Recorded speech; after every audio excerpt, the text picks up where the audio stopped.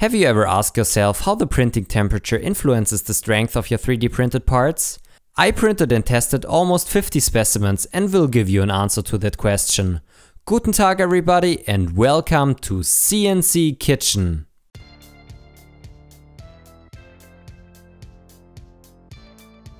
So if you are already following this channel for a bit, you might know that I built myself a tensile testing machine which I use to assess the strength of various 3D printed materials and methods. I already got a couple of requests to test how the printing temperature changes the properties and strength of your 3D printed parts. So that's exactly what I did.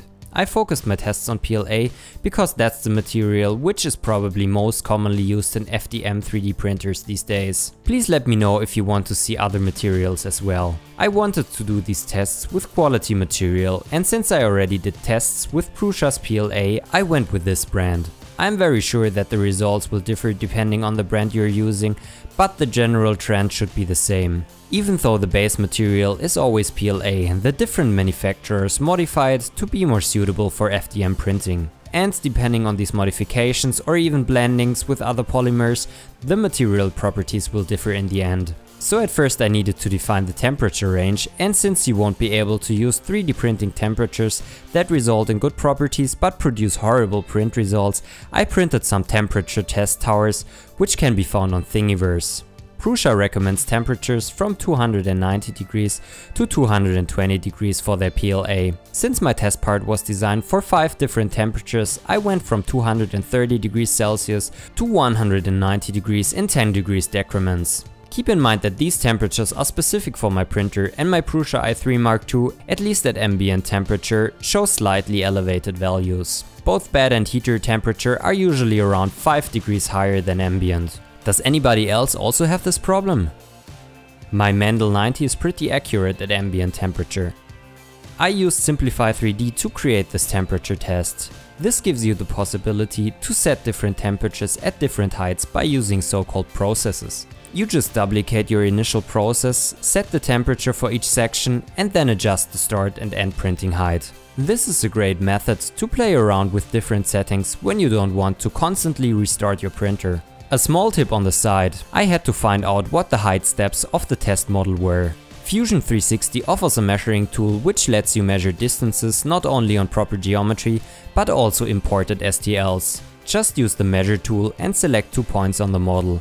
By activating XYZ delta, Fusion will also show you the XYZ components of the measured distances, which is mostly of interest. The first test print showed that there was barely a difference in print quality in my 230 degrees to 190 degrees temperature range. Bridging was fine, no stringing, small details and overhangs printed out without any issue. The overhangs probably looked the best at 220 degrees but the rest was totally equal. And trust me, I double checked if the temperatures were altered. So in order to see a difference, I increased the temperature range from 240 degrees Celsius down to 180 degrees in 15 degrees decrements. This print still looks fine, but you are able to see a little bit of bubbling at the highest temperature and some small printing defects at 180 degrees.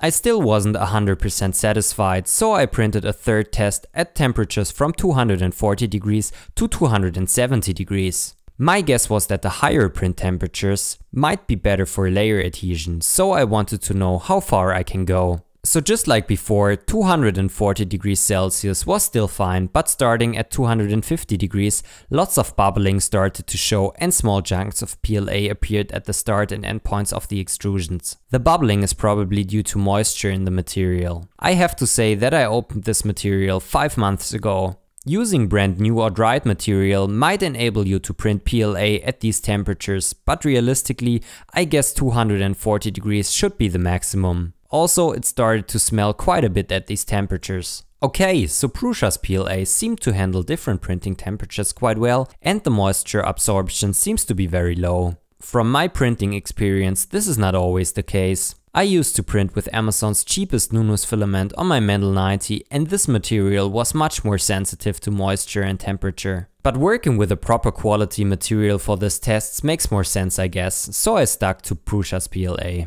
For the first print run, I'm going to tell you later why I had to do a second. I used the temperature range from 180 degrees to 265 degrees in 15 degrees increments with a 60 degrees heated bed. For each temperature, I printed two specimens which were lying on the print bed, which tests the bulk material strength, and two upright specimens, which gives us information about the layer adhesion. Since I didn't want to create a separate print shop for each temperature, I again used Simplify 3D's processes. If you have several processes, Simplify 3D will ask you if you want to print layer by layer or sequential. For the test tower, I used layer by layer before, but that wouldn't work properly with the specimens. Instead, I used sequential printing. If the parts are separated far enough from each other so they don't interfere with the hot end, they will be printed one by one. So now the temperature is fixed for each set of specimens and will only be changed if the next row is started.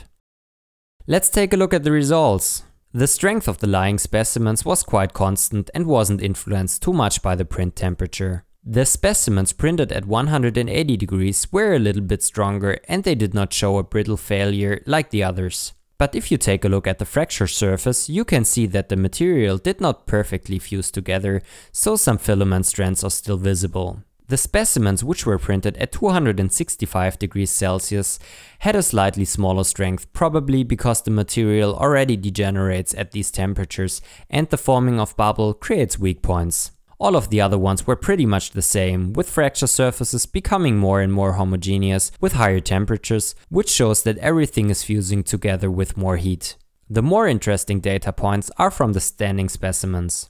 These ones nicely show that the layer adhesion is worse at lower temperatures, stays quite constant starting from 210 degrees and then drops off again at the maximum temperature.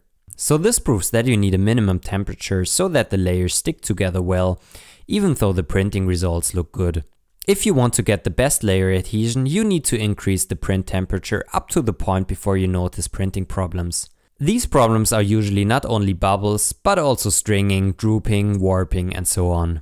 I also tested the strength of BQ's white PLA for 180 degrees and 240 degrees. The interesting thing with this material was that it performed way worse with my temperature tower test. 240 degrees showed horrible bridging and stringing and even at 225 degrees the print wasn't perfectly good. So there you see that even though you might get better strength at higher temperatures, the material itself is just not suitable for temperatures above 220 degrees. But wait, I said that I tested Prusa's PLA twice. How come? So I was reading some papers about annealing of PLA last weekend Annealing means that you put your printed part in an oven at temperatures from 60 degrees up to something like 100 degrees, which increases the crystallinity of the material and therefore increases the temperature resistance of your part. More on that in another video. So they showed that annealing can already be done at temperatures of around 60 degrees, which takes longer but still changes the characteristics of your material. 60 degrees is the temperature of my PEI print bed, so my lying specimens were loaded with this temperature for quite a while. Damn! The upright specimens should not be affected by this problem since the areas under tests are decently far away from the heat bed. So I reprinted the lying specimens without the heater on, which is actually not too easy. The ultimate tensile strength of these were not too different from the other ones. The only thing which really changed was the failure mode. The ones printed on the 60 degree bed failed brittle, whereas the ones printed on the cold bed strained and necked before they broke, which makes them more robust. This doesn't change my conclusion, but shows me that I need to investigate heat treating PLA soon in more details. So we have seen that Prusa's PLA is usable in a quite vast temperature range and doesn't start to degenerate before 250 degrees. This is not true for all PLAs, because for example BQ's PLA had to be printed at much lower temperatures. The bulk strength of the lying specimens wasn't greatly affected by the print temperature, but the layer adhesion constantly increased up to the point where the material started to degenerate. So if you want to get better layer adhesion, increase your printing temperature maybe a little bit. The default printing temperature in Prusa Slicer edition is 205 degrees for example.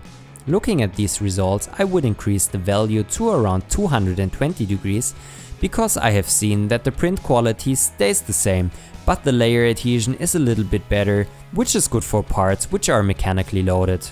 Thanks for watching everybody. I hope you liked this video.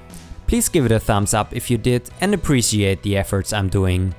Please consider subscribing if you want to see more of this. Auf Wiedersehen and I'll see you next time.